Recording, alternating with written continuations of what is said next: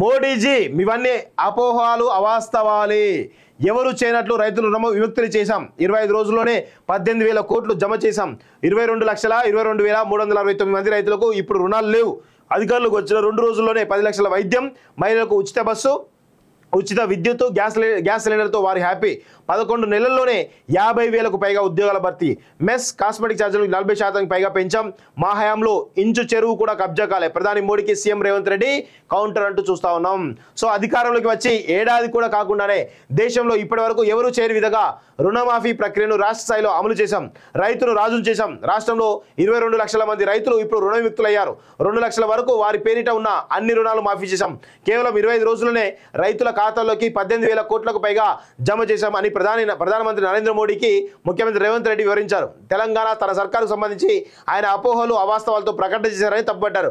గత డిసెంబర్ ఏడున కాంగ్రెస్ అధికారులు చేపట్టగానే పదేళ్ళ బీఆర్ఎస్ చీకటి పాలన నుంచి విముక్తి కలిగిందని రాష్ట్ర ప్రభుత్వంలో ఆనందోత్సవాలు వెల్లివిరిశాయని పేర్కొన్నారు.